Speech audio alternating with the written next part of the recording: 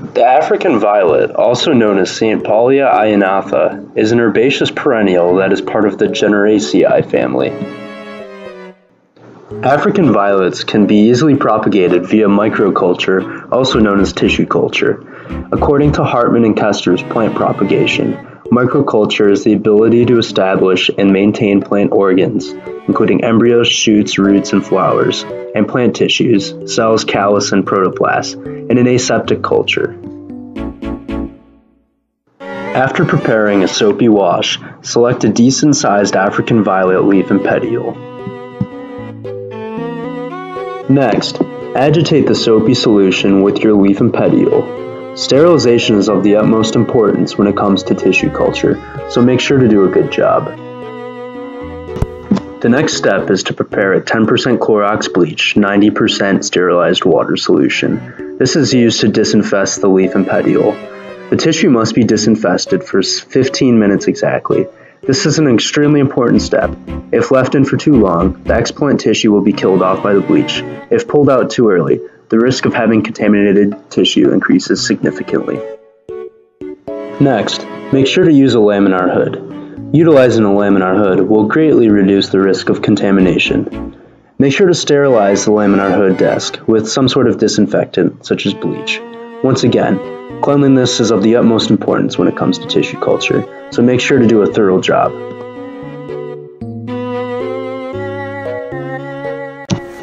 In addition to sterilizing the laminar desk work area, also make sure to sterilize your tools. Make sure not to heat up your tools too much, otherwise you will cauterize the plant material. Once your tools are sterilized, unwrap several petri dishes. The use of the petri dishes will range from cutting stages to actual in vitro propagation containers.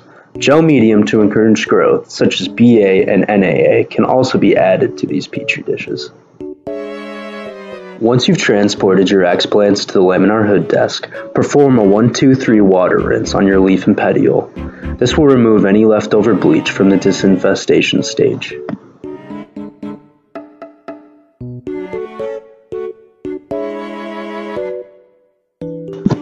Using your sterilized scalpel, remove all damaged tissue from the leaf and petiole. Then, cut the leaf and petiole into 1 cm sections.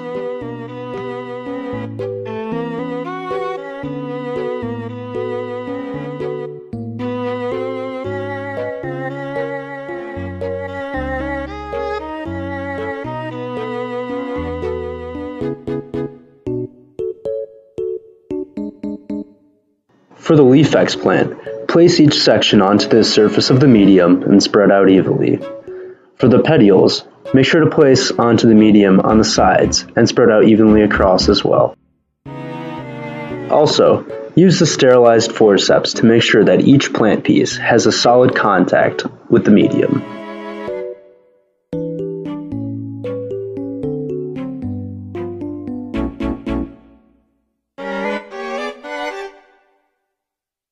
Next, wrap the Petri plates with parafilm in order to create an airtight seal. This will prevent contamination once placed in the incubator.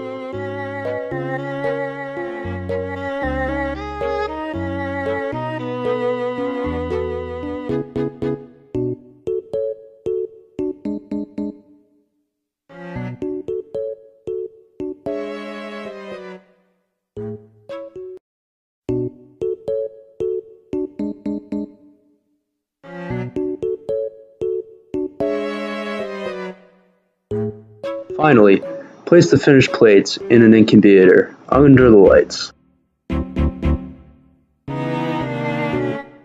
After several weeks, your tissue culture should look something a little like this.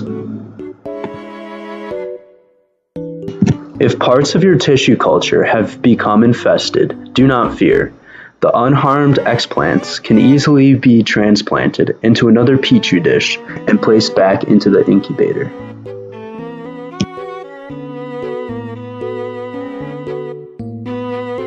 Take the same precautions when transplanting the unharmed explants. Again, remember that cleanliness is of the utmost importance.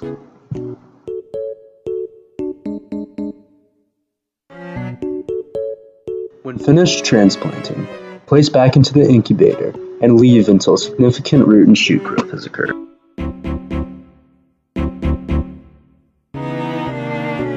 Finally, plant your explants into some sort of moist soil medium.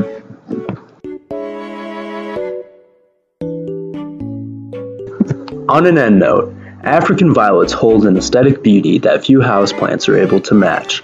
This makes African violet propagation a big and lucrative business. That being said, it is important to know how to use tissue culture, as it is by far the most efficient way of propagating the plant, as a few small pieces of tissue can give yield to many plantlets.